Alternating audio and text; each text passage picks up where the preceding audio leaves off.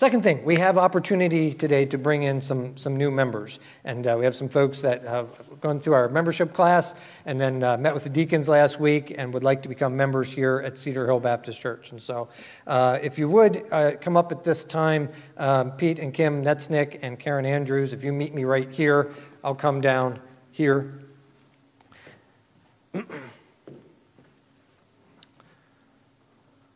Always good to have folks that. Um, want to be part of the church. They want to be part of the uh, uh ministry here. Uh, they've went through our membership class. Um, all three weeks of listening to me talk about the church and what we believe and why we believe it. Then they met with the deacons last week, right up here, and gave their testimonies of how they accepted Christ and then um, were baptized and so forth. And so uh, it's a joy to have these folks that want to be part of our church and want to join in and uh, obviously already being faithful members, uh, faithful attendees of our church. We appreciate that uh, very much. I'm going to have a word of prayer with them this morning. Uh, before I do that, listen, I, I always say I think membership is a two way thing. Uh, it gives uh, an opportunity for them to join the church and to help in the ministry here.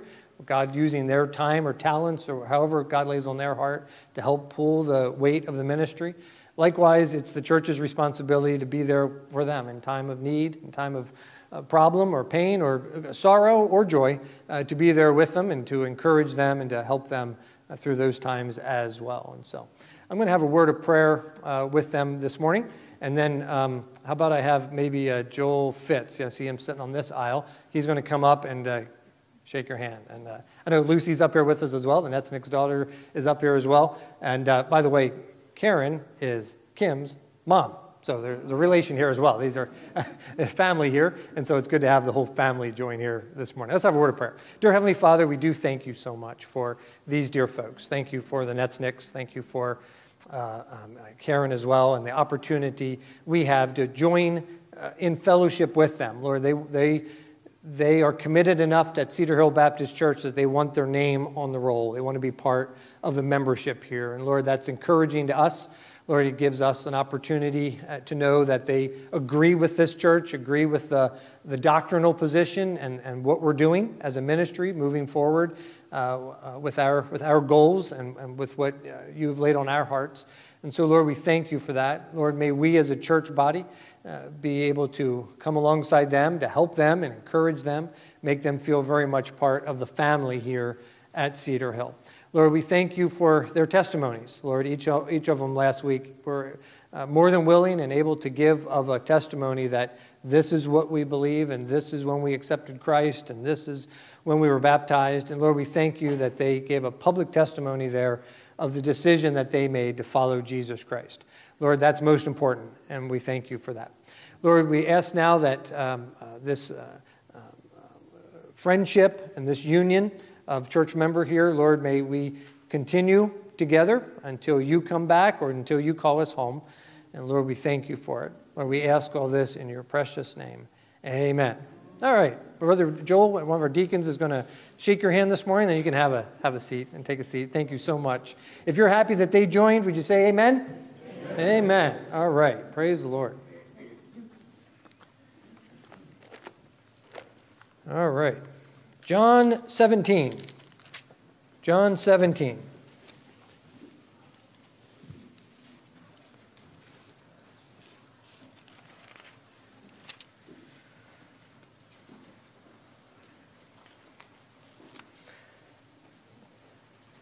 As an introduction, I, uh, we completed our my uh, preaching through the book of Hebrews. I started preaching through the book of Hebrews beginning of the year, and we did that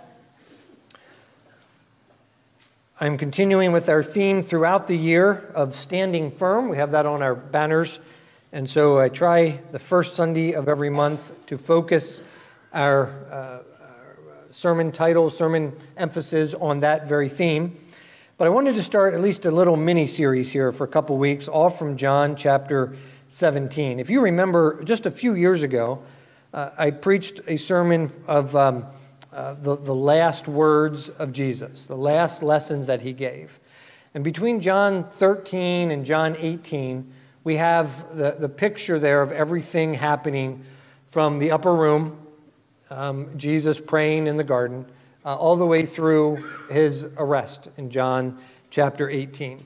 Uh, none of the other Gospels highlight that conversation as much. In fact, if you just look at the numbers of the chapters, you see that the, the very last hours of Jesus' life on earth uh, is, is a good part of the book of John. Uh, those things begin really in the middle of the book of John, while the other Gospels uh, spent a lot of time on the parables and the teachings in the, la- in the first, you know, the, I'm sorry, the, the three and a half years of Christ's ministry. John focuses his uh, bulk of his book on those last hours of Jesus' life upon this earth uh, before he died on Calvary and then, of course, rose again. This is uh, kind of the end of that. John 17 is the very end of that. Uh, in fact, John 17 begins with, These words spake Jesus and lifted up his eyes to heaven. And so we have here in John 17 um, a prayer, Jesus' prayer. Uh, um, uh, my Bible at the very top calls it a farewell prayer.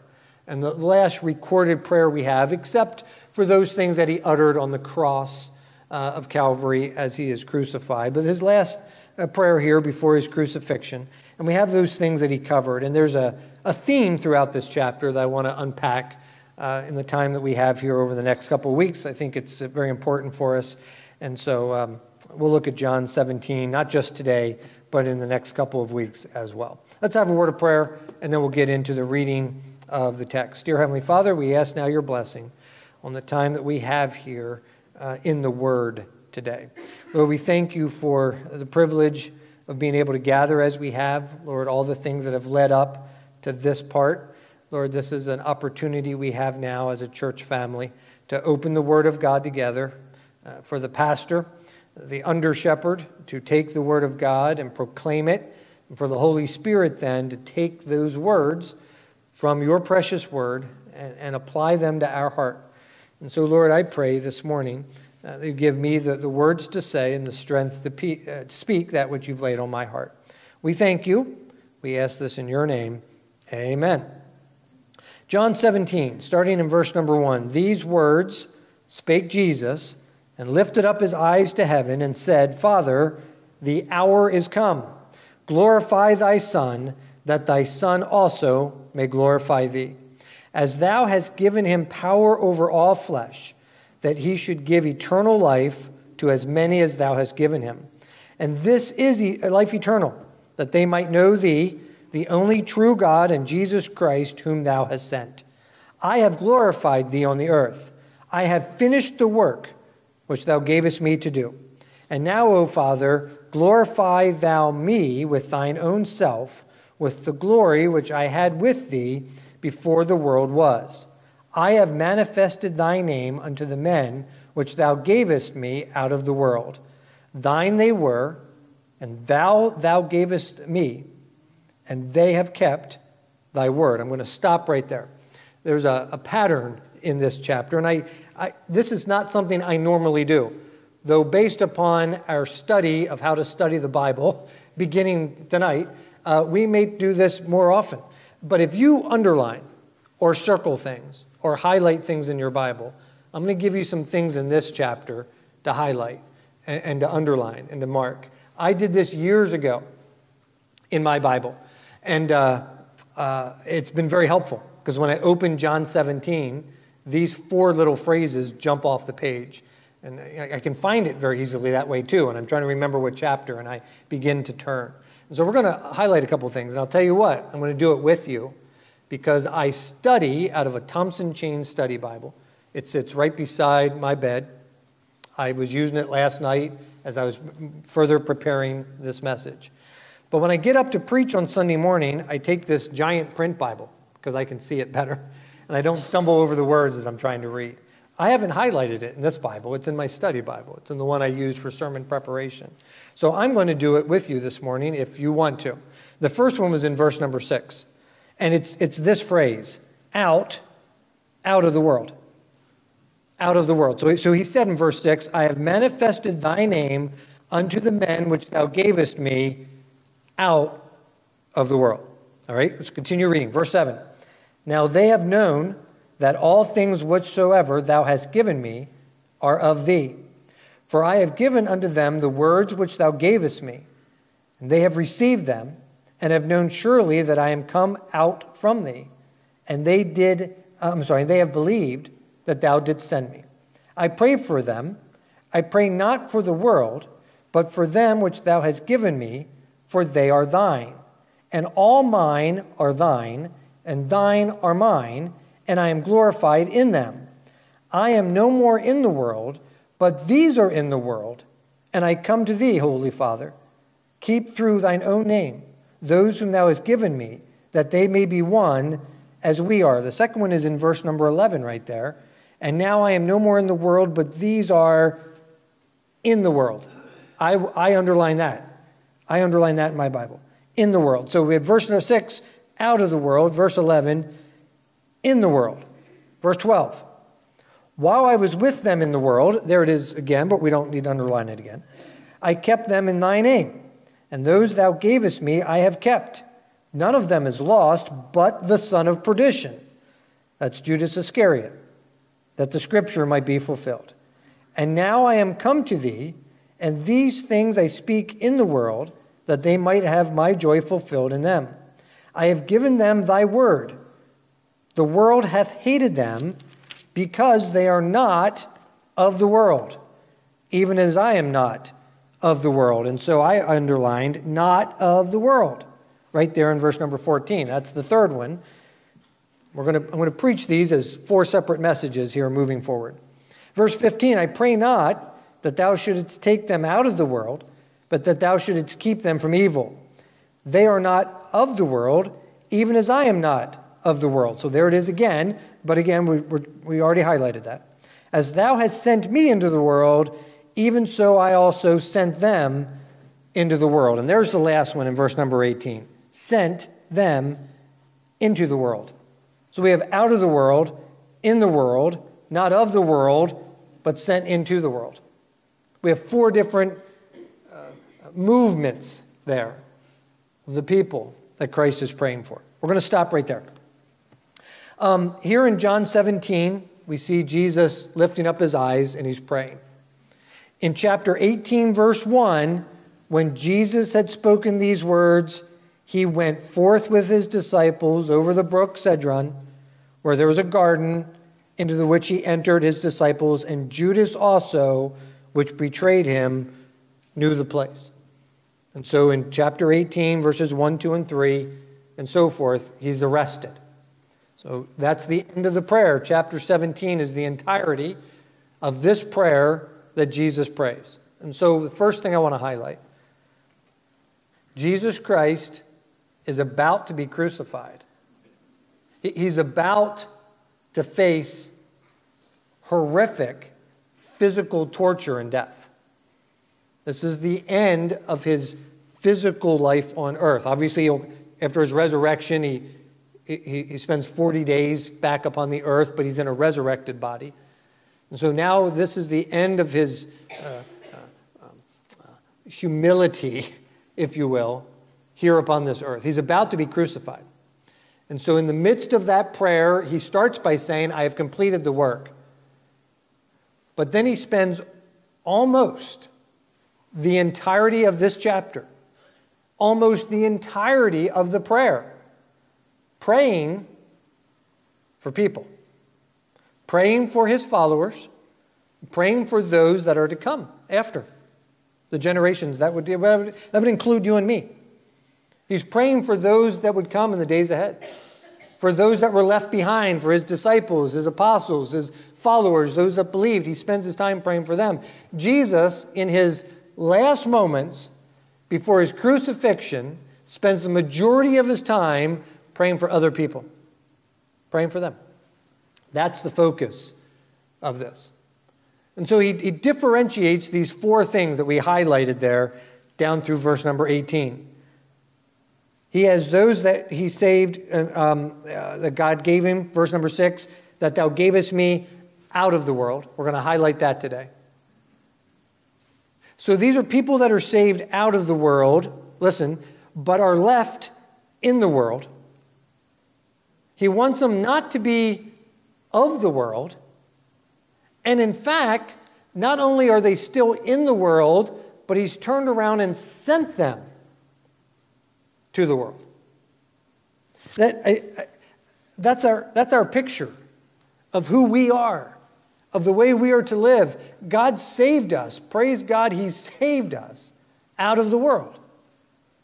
And we know this. This is uh, sim- simple uh, uh, understanding of, of how God's organization works, but the moment we were saved, we weren't escorted straight to heaven, were we? we get saved and yet we remain. God's left us here. He's left us here for a purpose. And so we're saved out of the world. The Bible says, I was of my father the devil. But that all changed. So I'm saved out of the world. I'm left in the world. And even though I'm left in the world, I'm not supposed to be of the world. That's the separation that we're going to talk about in a couple weeks. So we're not supposed to be like the world, it's supposed to be a difference. And then, not only am I uh saved out of it and left in it and separated from it, I am in turn supposed to be sent back to it. I think there's a big difference. I don't know about you, but to me, the, the second and fourth sounded on the surface somewhat the same. I'm in it, but I'm sent back to it. Well, yeah, I, am still in it, but I'm not supposed to be in the world just lingering, just holding, just maintaining. I'm in the world to make a difference in the world. I'm in the world to reach those who are still of the world and need to be saved out of the world. God's given me a job in the world because he sent me back to the world. If you will, picture that. You know, I was, I was, I was looking at different illustrations, trying to put together an illustration. Let's say, let's say Dillsburg was a rough community. Right?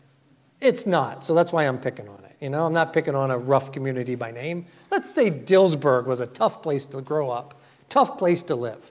You know, people's lives just, it, it, was a place people wanted to get out of. Maybe it is, but I don't think so. I think Dillsburg's a nice community. Let's say Dillsburg was a tough community and, and somehow um, things happen. Maybe you got that scholarship or you got that, that opportunity and you got out of Dillsburg, right? Got out of it. But in the course of, of time, as things worked out, you kept your residency in it but you weren't really a part of it any, anymore. You were, you were on your way to making your life different outside of Dillsburg. But you decided, with all that good fortune that came your way, you're going to return all that back towards making Dillsburg a better place. We see that with maybe athletes sometimes, some of them, right? They get saved out of maybe the tough neighborhood or the projects. Mom still lives there. Brothers and sisters still live there. They remain connected to it and they try to take some of what they have earned and, and help make a difference there. So, on a much larger scale than that, and a much more eternal level than that, and a much more important level than that, you and I are saved out of this world. And yet, we're still here. We're here for a time not to become like the world again, but to reach the world for Jesus Christ. That's the pattern.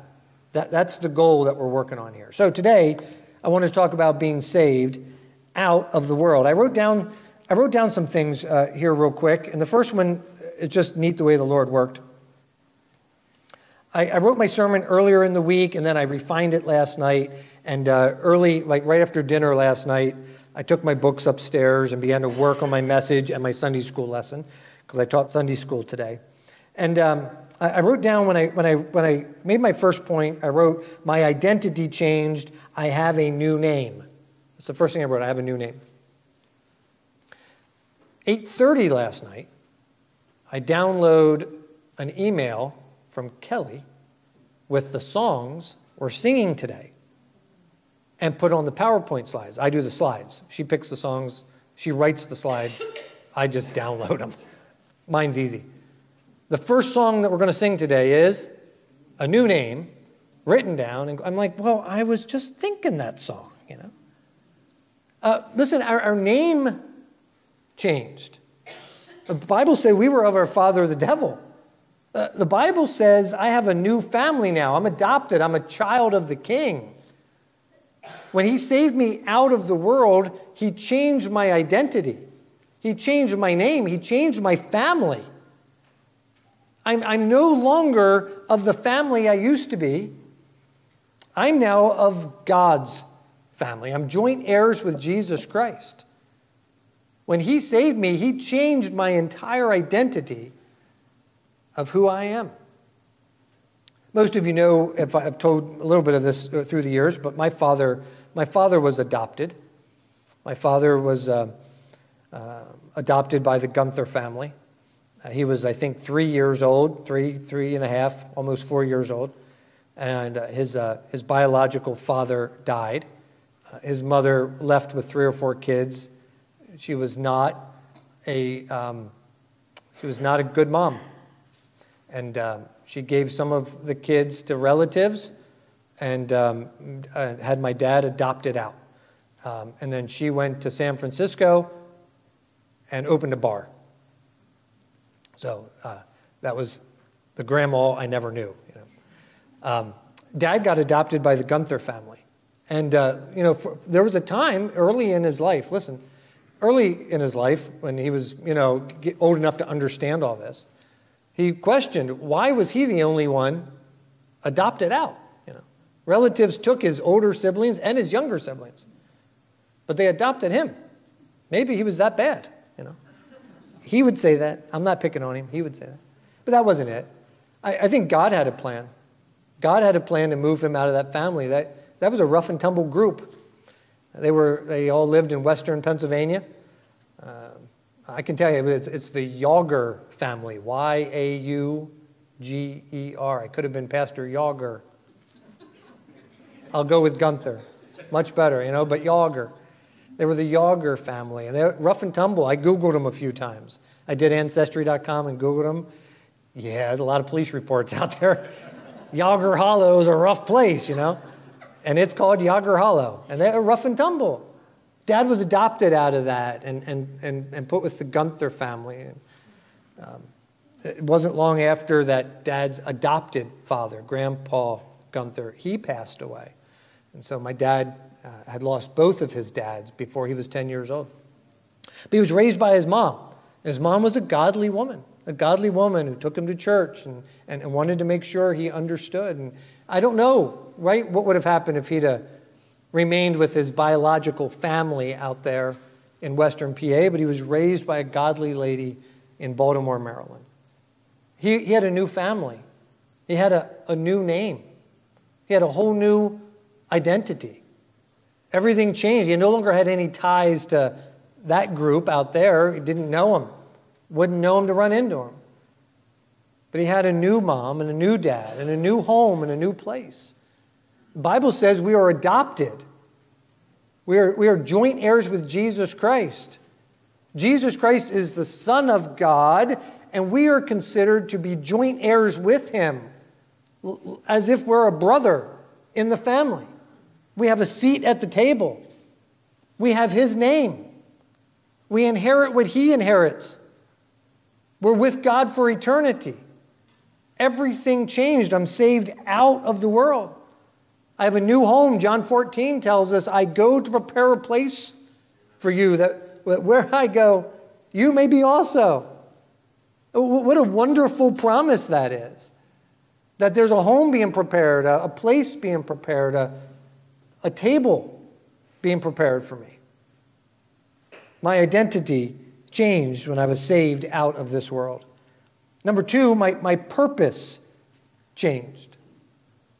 My purpose changed. In other words, I now I have a purpose for living, and that's that's the one thing uh, we talk a lot about in our in our culture today. We uh, we have people uh, talking to someone just before the service today about about uh, people who commit suicide and take their lives. And my Sunday school lesson this morning was on Judas Iscariot, and obviously Judas, overcome by guilt, took his own life. That's how his tragic story ended in a horrible manner.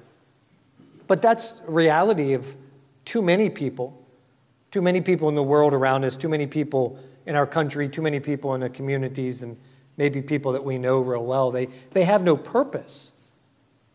They're looking for a purpose. And I think we see that more than ever today that people want a purpose. They want to have a purpose that drives them. And it, it may be something you and I disagree with, right? They, all kinds of different things that people come up with. Uh, I understand you talk to um, uh, college kids today, many of them getting in journalism. Why are you in journalism? Well, I want to, I want to change the world you know, which wasn't really the purpose of journalism. But anyway, well, that's a different, different lesson for a different day. But I, they want to make a difference. They want to have a purpose. Uh, people get behind, you know, climate change because they, they feel like they have a purpose to get behind. Uh, people get behind, you know, um, uh, I, we're not going to talk about the skunks this morning. If you've been around, you know what I mean. But, uh, you know, my, my son in wildlife management, right? They feel like they have a purpose in, in taking care of these animals that otherwise would, would be killed or wouldn't survive or wouldn't make it. Pour themselves into animals. That people have a purpose. Their purpose maybe becomes their family, becomes their children, becomes their job or their career of some sort, becomes a passion, becomes a hobby, or their hobby becomes a purpose. People are looking for that. Well, when, the moment we accept Christ as Savior, our purpose is clearly defined. We understand what our purpose is. Our purpose is to glorify Him. That's our purpose. It's supposed to be the purpose of all creation and of all mankind. But without Christ and blinded by the, uh, by the world and blinded by sin, people aren't going to determine that for themselves. But once we understand who we are in Christ, it defines our purpose. What, why am I alive? What am I here for? Well, that makes it very clear. I'm supposed to glorify Him. I'm supposed to help point others to Him. I'm supposed to grow in my knowledge and understanding of Him. I'm supposed to be changed into the image of Jesus Christ. And all of those things together glorify Him. It's all about Him. Jesus said that at the beginning of John chapter 17. Remember, the Father, the hour is come, glorify thy Son, that thy Son also may glorify thee. There was a purpose to all of that. Jesus Christ made um, a creation. We know Christ was uh, involved at the very beginning. In the beginning was the Word. The Word was with God. The Word was God. All things were made by Him. Without Him was not anything made that was made. John chapter 1. So Christ, at the very beginning of creation, made all of creation to glorify God. That's uh, the purpose of mankind. That's the purpose of all creation. Christ talked about it in John 17. His last prayer on earth, before he goes to the cross, he says, Lord, may I be glorified when I'm on the cross, that you may be glorified through all that I'm doing. It is our ultimate duty. And so our purpose changes. I'm saved out of the world. I'm still living in the world. What does it mean to be saved out of the world? Well, my identity changed. I have a new destination, a new name. I have a new purpose. What I'm supposed to be doing, why I'm here, has changed. Of course, my destination has changed. We've talked about that and our home being prepared. Number four, I wrote down the bondage of sin has changed. The bondage of sin has changed. No longer am I bound to that. No longer am I enslaved to that.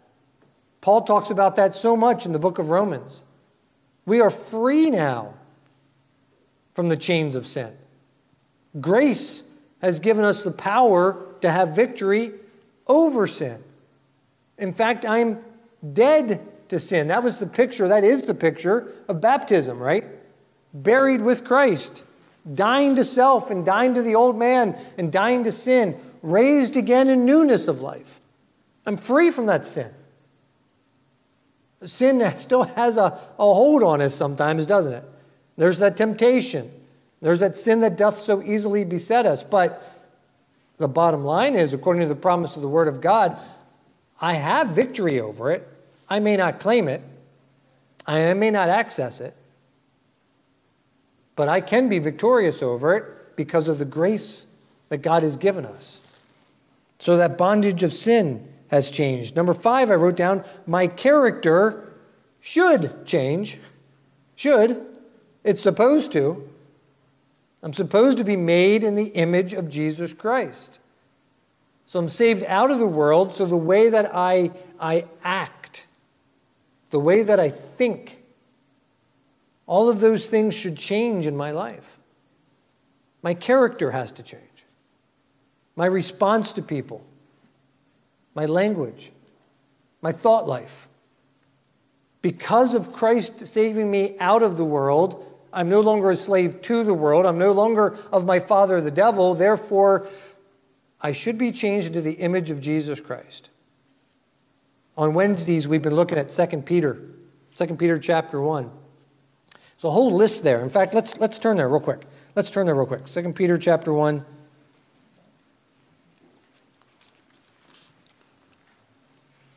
This is not the only list like this in the Bible, but we're studying this one as our Wednesday night Bible study. Verse 5, 2 Peter chapter 1, verse 5. You know what? I'm going to start in verse 4. Whereby are given unto us exceeding great and precious promises. That's something else we have because we've been saved out of the world. I can claim these promises. That these, by, by these, by these, ye might be partakers of the divine nature, having escaped the corruption that is in the world through lust. Again, saved out of that world. So, here's the list, verse 5. Beside this, giving all diligence, add to your faith virtue, and to virtue knowledge, and to knowledge temperance, and to temperance patience, and to patience godliness, to godliness brotherly kindness, to brotherly kindness, charity or love. For if these things be in you and abound, they make you that ye shall neither be barren nor unfruitful in the knowledge of our Lord Jesus Christ. So, because I'm saved out of the world, and it talks about that in verse number four, doesn't it? Having escaped the corruption that's in the world. We've been saved out of the world. Jesus Christ, as he's praying there in the garden just before he goes to the cross of Calvary, he's praying for people. He's praying for his followers, his disciples, the believers that have surrounded him in his ministry. He's praying for those to come. That would be you and I. And in the midst of that, as he's praying for them,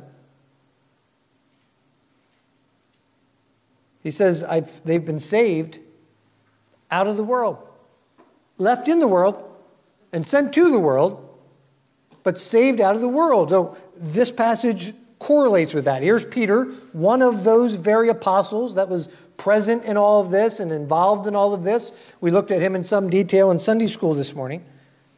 Jesus said, they've been saved out of the world. Peter then writes to the church, We've escaped the corruption that's in the world. Peter said, We've been saved out of the world, left in the world, but saved out of it. How, how are you saved out of it? Well, our, our identity changed and our purpose changed and our destination changed. The bondage of sin has changed, and now, now we have a list here. My character is supposed to change. Some of those things were, were automatic, right? The moment I accepted Christ, my name is written in the Lamb's Book of Life. It's not, will never be blotted out. It's sealed by the Holy Spirit. I, I didn't have to do anything for that, right? I accepted Christ. He did all the work. Jesus paid it all. It's all done. I have a new family. I have a new name. I have a new destination. I will spend eternity with Him forever. Those things are secure. God's given me a new purpose. I may not embrace it or I may not have claimed it, but He's given me a new purpose. But my character, my character is something I'm supposed to work on, right? I, I say that Listen, because it tells us in this passage, you're supposed to add to your faith virtue, and then so forth, and then so forth, and then so add. These are things we're supposed to work on. These are supposed things that we're supposed to address in our lives and change our character into the character of Jesus Christ. My character is supposed to change. Why? I've been saved out of this world. I've been saved from the world's influence. I've been saved out of the, the dominion of the world and the impact of the world in my life. Now it's supposed to change. My character should change as well. And then the last one I wrote down, number six, my priorities should change. If my purpose changed, and it did, then my priorities should change. The things that used to matter don't matter anymore. Right? The focus of what I'm supposed to be attentive to should change. The things that are of utmost importance should change. Living for Christ, pleasing to Him, what's the will of God for me in my life? Those things should become a priority. I think we would agree before we knew Christ, when we were in the world, of the world, part of the world, and not out of the world, we didn't care about that. We didn't care about what the will of God was in my life. We didn't care about pleasing Him. We had our own ambitions and our own goals and our own things that we wanted. But now that I've been saved out of the world, my priorities need to change. The things that become important should change in my life. What am I doing that's pleasing to Him? Am, am, I, am I the spouse that I'm supposed to be in the image of Christ? Am I the parent I'm supposed to be? Am I the employee or employer that I'm supposed to be to glorify Christ? Is it about, um, you know, uh, getting ahead and making the most money? Or is about doing that which is pleasing to Him and a godly heritage? Uh, our priorities start to change from what they were to what they should be. So, John 17. I want to look at it over the next couple of weeks because John 17, we're saved out of the world. I wanted to highlight that today. But in the midst of all that, and you know, we've already looked at it, we may be saved out of the world, but guess what? We're still here. Uh, all those things that I mentioned have changed. My identity, my name, all those things have changed, but I'm still living in this world. And we're going to sing, we will sing, This world is not my home. I'm just passing through, but I'm here today, right? I'm here today. So, what is God's expectation of me living in the world today? Then we're going to look, I may be in the world, but I'm not supposed to be of the world. There's a change. That's going to be, that's, I think that's one of the harder parts in this list, right? Where we may be in the world, and the world has a big influence. The world is, uh, the world there's a lot. There's a lot going on, a lot of culture being thrown our way. So it's hard not to be of the world. And then, not only that, we're sent back into the world. And We're going to talk a little bit about the Great Commission. We have a duty to make sure others know the saving knowledge of Jesus Christ. Dear Heavenly Father, we thank you for the time we've had today. Thank you for the privilege of being able to look at this chapter. Lord, I think it's one of the um, just uh, layers and depths of information and important things for us to see here in John 17. These very last words spoken in prayer in your time upon this earth. Lord, may we learn from that. May we see the emphasis. Your emphasis were, was others, it was people, not yourself, it was people. And then, Lord, may we see your, what your plan was, what your prayer was, for the people that remain. Lord, we thank you for this time we've had. Lord, if there's one here today that does not know you as Savior, perhaps they're here today and they can say, Pastor Wes, I'm not sure I'm saved out of the world. I'm not sure I'm, I'm an adopted child of Christ. I'm not sure I've ever come to a, a place where I've made a decision for Jesus Christ. If that's your concern, if, that's, if you're being honest enough with that, then make today your day of salvation. I don't want you to leave here today without making sure of that. As we break after the service today, I'll be at the back door. If you don't know Christ as Savior on your way out, would you say, Pastor Wes, pray for me? I'd like to talk to you sometime. Pray for me. It would be our honor, my privilege, to be able to introduce you to Jesus Christ. Lord, we thank you for this time that we've had. Lord, may it make a difference in our lives. May we see our place in all of this. How you've transitioned us out of the world, in the world, not of the world, sent to the world. Lord, may we see where we are in that dynamic. Lord, we thank you. We ask all this in your precious name. Amen. Our last song, Just Over in the Glory Land, 838. Let's stand together as we sing our final song.